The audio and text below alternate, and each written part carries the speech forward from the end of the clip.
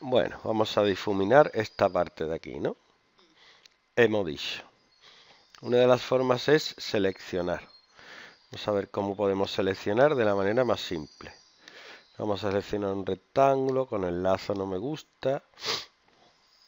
A ver selección rápida, cómo funciona con esta foto.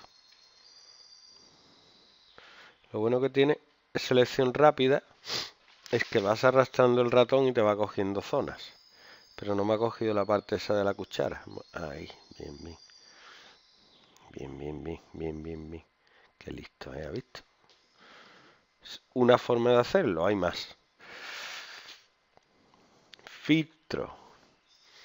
Vamos a desenfocar. Imagen.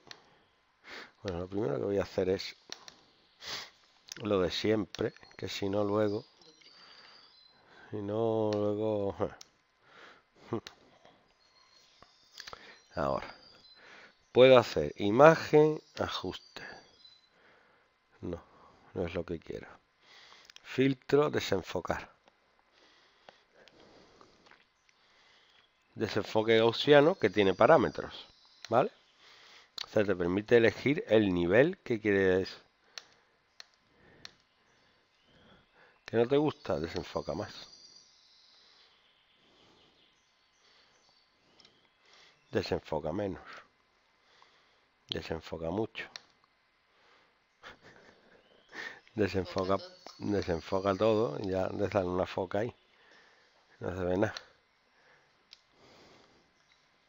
Es muy muy fácil, el desenfoque gaussiano es muy simple y muy fácil.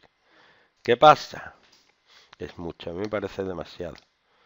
Eso.